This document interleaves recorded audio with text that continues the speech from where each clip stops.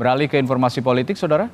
Presiden Joko Widodo meminta Sekjen PDI Perjuangan Hasto Kristianto tidak membuat isu soal dirinya yang disebut-sebut ingin menjadi ketua umum PDI Perjuangan dan merebutnya dari Megawati Soekarno Putri.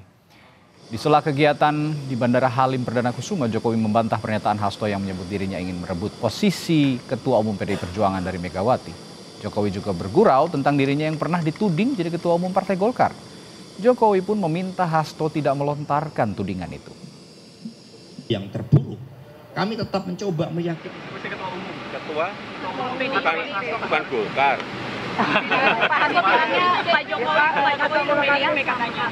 Katanya mau ngerebut Golkar, katanya mau ngerebut nanti. Masa semua mau direbutin semua? Jangan, jangan, jangan seperti itu, jangan seperti itu. Jangan seperti itu. Jangan seperti itu.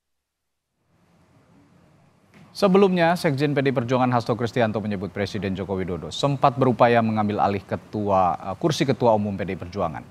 Hasto bilang Jokowi menugasi seorang menteri bertemu Rias Rashid untuk membujuk Megawati Soekarno Putri agar kepemimpinan PD Perjuangan diserahkan ke Jokowi.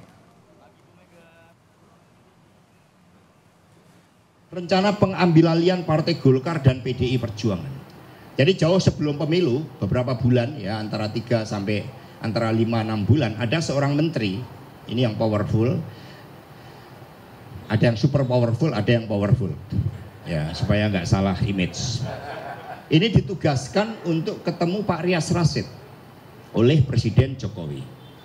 Pak Rias Rasid ditugaskan untuk membujuk Bu Mega agar kepemimpinan PDI Perjuangan diserahkan kepada Pak Jokowi.